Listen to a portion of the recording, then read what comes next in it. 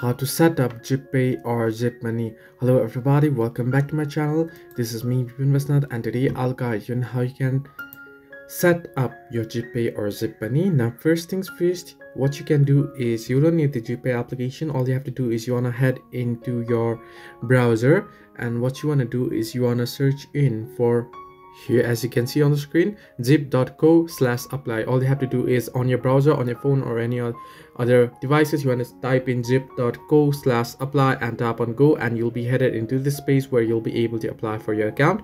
The first you can see you'll get two different sites. That is the new zealand side and the us side and down below you'll get the australian homepage as well the site. So what you want to do is you want to choose your site now simply tap on it and then it'll give you different options here. You can see set up pay later where you want. All you have to do is simply tap on sign up now option and here it'll ask you to download the application. In my case it's not available in my country. However if you just skip the process what you'll have to do is if you are on your browser on your any other devices rather than phone so simply on desktop side then simply tap on sign up there and what you'll have to do is enter in the details and once you enter in your details just first verify your phone number add in the details and set up your card. So you can easily set up your zip pay or zip money.